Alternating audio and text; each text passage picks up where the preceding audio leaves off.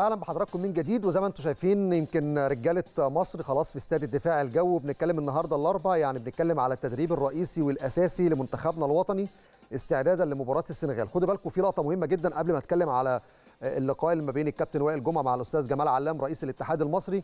كانت في لقطة جميلة جدا ما بين محمد صلاح مع العمال والمعاونين في الأجهزة الطبية. الروح الجميلة دي اللي موجودة داخل صفوف المنتخب مهمة جدا.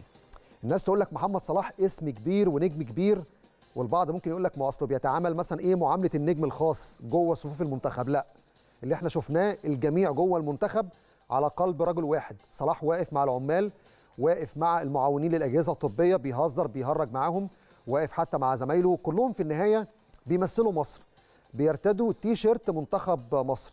كمان شفنا أهو زي ما أنتم شايفين دي اللقطة اللي كنت عايز أتكلم عليها في البداية يمكن دعم عبد الله سيد طبعا من العمال والناس اللي موجودة في منتخبنا الوطني من زمان جدا.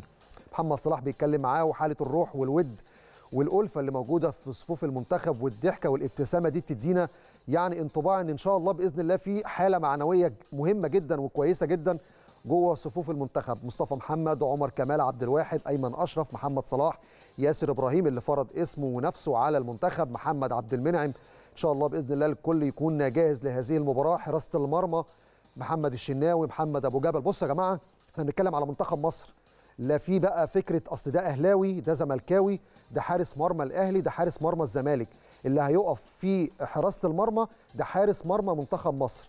اللي هيمثل الفريق في المباراة العشر لعيبة مع حارس المرمى ده تشكيل منتخب مصر. ما نقولش في خمسة أساسيين من الأهلي وثلاثة من الزمالك واثنين من بيراميدز. وواحد محترف. كلهم في النهاية بيرتدوا تيشرت منتخب مصر ورافعين علم مصر في مباراة السنغال. ربنا إن شاء الله يوفقهم ويفرحوا الشعب المصري في المباراتين. مش مباراة واحدة لازم